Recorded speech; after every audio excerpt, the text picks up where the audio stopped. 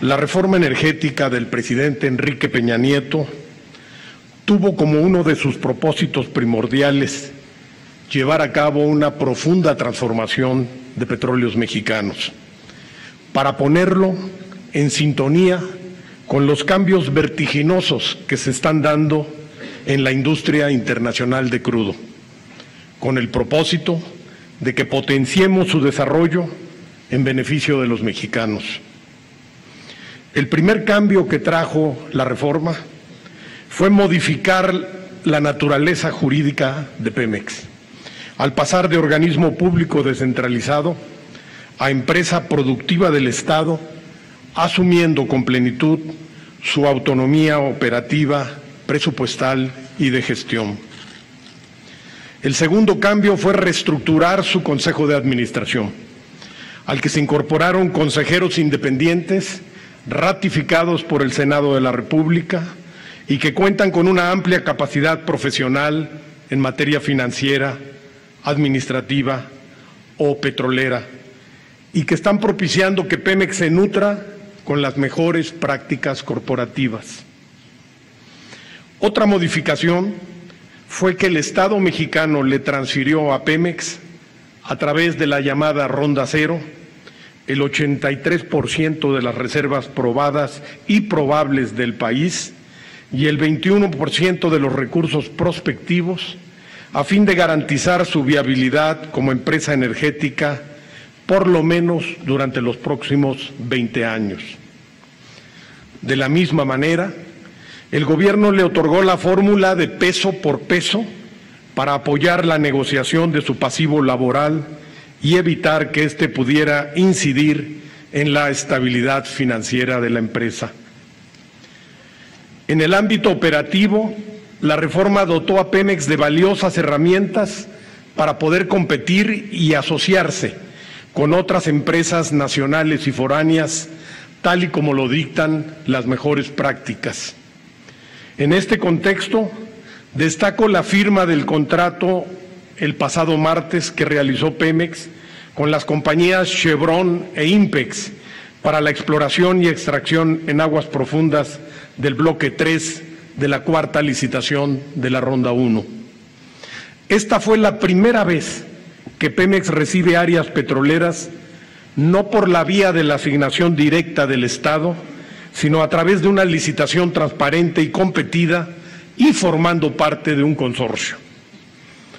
Hoy hemos sido testigos de cómo Pemex formaliza su primera alianza para la exploración y extracción de crudo y gas a través de un contrato denominado de Farm Out en los campos que le fueron asignados por el Estado en la Ronda Cero.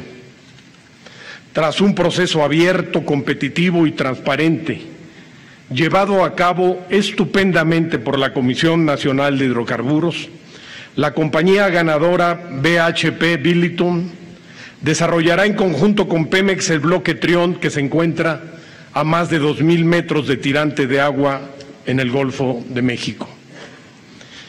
Cabe subrayar que gracias a la reforma energética, el lado mexicano de esta cuenca oceánica se ha convertido en la de mayor investigación sísmica del planeta hoy en día.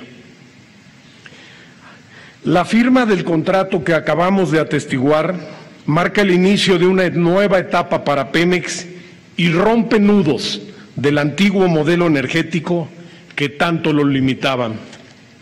Con ello se confirma que nuestra gran empresa petrolera nacional es un socio muy atractivo, pues cuenta con la experiencia, los conocimientos y el personal especializado para incursionar en las grandes profundidades marinas.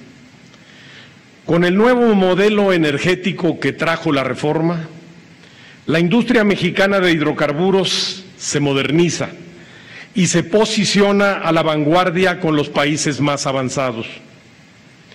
Una de las mayores aportaciones de la reforma energética es que está dando vida a un sistema industrial de hidrocarburos altamente diversificado.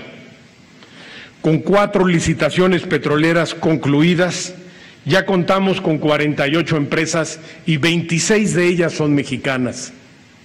Además de las compañías de Norteamérica, figuran también las mejores petroleras de Europa, de Asia y Oceanía, como es el caso de BHP Billiton, corporación australiana de muy alto prestigio internacional.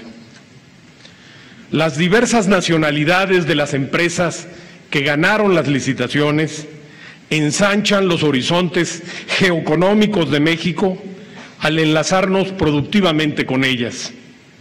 Entre todas, alcanzarán una inversión tan solo en exploración y extracción cercana a los 49 mil millones de dólares que se realizarán en los periodos previstos en los contratos.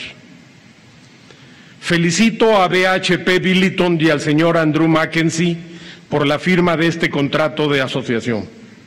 Estoy seguro de que este nuevo desafío es el inicio de una larga y productiva relación con Pemex.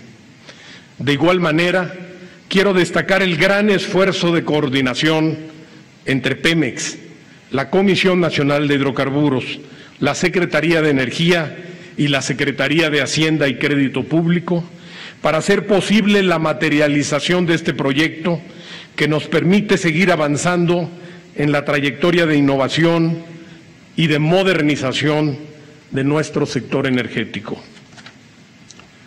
Señoras y señores, esta semana la Agencia Internacional de Energía de la OCDE, en voz de su director ejecutivo adjunto, Paul Simon, declaró lo siguiente, cito textualmente, en términos de alcance, profundidad y ritmo de implementación, la reforma energética de México se ubica como la más ambiciosa transformación del sistema energético en el mundo en mucho tiempo. Cierro la cita. Tiene el mérito el presidente de la República, Enrique Peña Nieto, de haber asumido con valor, con visión y con interés la transformación radical del sector energía de México. El presidente abandonó los fallidos caminos del pasado de recurrir al endeudamiento público o comprometer el presupuesto de la nación en la renovación energética optó certeramente por modernizar a nuestra empresa petrolera nacional. Le permitió compartir riesgos financieros y geológicos, tecnología y conocimientos y abrió toda la cadena de valor de los hidrocarburos a las inversiones nacionales y foráneas bajo la rectoría del Estado. El legado del presidente Peña Nieto al país consistirá en un nuevo paradigma energético largamente aplazado para impulsar la transformación de Pemex y obtener para el beneficio de México crecidos volúmenes de hidrocarburos que sin este cambio hubieran continuado improductivos en el fondo de la tierra y el mar. Gracias a la reforma energética, esos recursos servirán ahora para sustentar el bienestar de los mexicanos en los años por venir. Muchas gracias.